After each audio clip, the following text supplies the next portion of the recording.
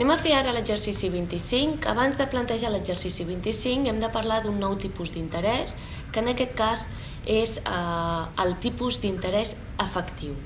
Eh? El tipus d'interès efectiu no és res més que la, una taxa d'interès equivalent.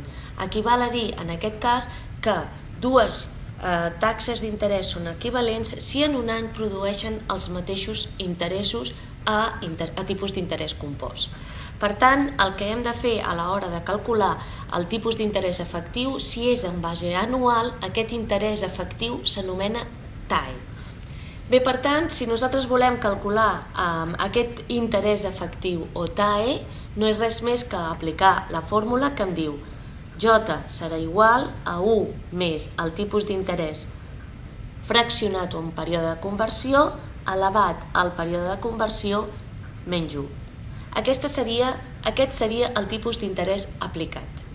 Bé, anem a fer l'exercici número 25, amb el qual em diu calcular la TAE de 2,5 trimestral. Quan nosaltres apliquem el 2,5 trimestral, amb l'apartat A, el que m'està dient és que la TAE o tipus d'interès efectiu anual que hem de calcular seria 1 més 0,025, que seria, en aquest cas, l'interès eh, trimestral, recordeu que aquest interès trimestral ja és un interès efectiu, no és un interès nominal en període de conversió o capitalització, sinó que és un interès efectiu, el que passa que fraccionat.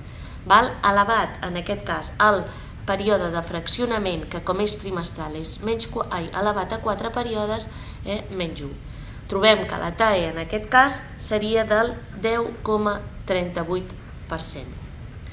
Si féssim a l'apartat B, seria exactament igual calcular la TAE, eh, tassa anual efectiva o J, de 1 més el tipus d'interès, en aquest cas és un tipus d'interès mensual, 0,006, elevat al període de conversió, que és mensual, per tant 12, menys 1, i això em donaria eh, igual al 7,44%.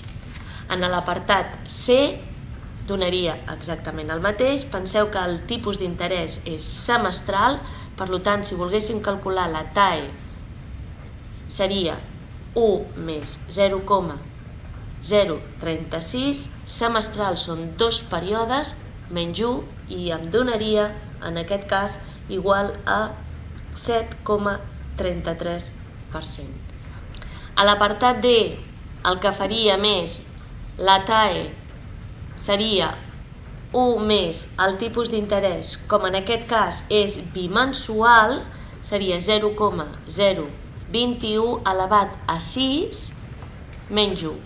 Eh? Penseu que si és bimensual és cada dos mesos, per tant el període eh, serien 6 i això ens donaria igual al 13,28%. I per últim, a l'apartat E, la TAE efectiva seria igual a 1 més 0,026 elevat, com és quadrimestral, hi han 3 quadrimestres, per tant, elevat a 3 menys 1, i això em donaria exactament del 8%.